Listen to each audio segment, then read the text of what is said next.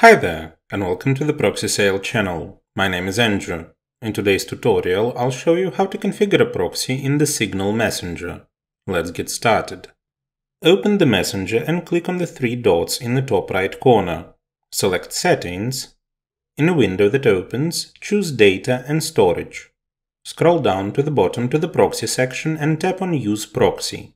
Activate Use Proxy and you will see a field to enter your proxy details. If you are using a free proxy, enter it in the following format IP, colon, port.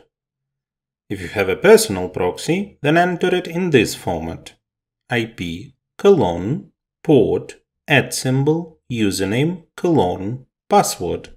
Once you've entered everything, click Save. And that's it, your proxy is now set. Let me remind you that your work as well as your accounts may be at risk if you operate with free proxies that can be found on a network. Such proxies do not have guarantees of anonymity and security. We recommend a reliable and trusted provider, proxysale.com, which will allow you to get proxies of any location with guaranteed anonymity and security for working on a network. The link will be in the description. Don't forget to hit the like and subscribe buttons. See you in the next video.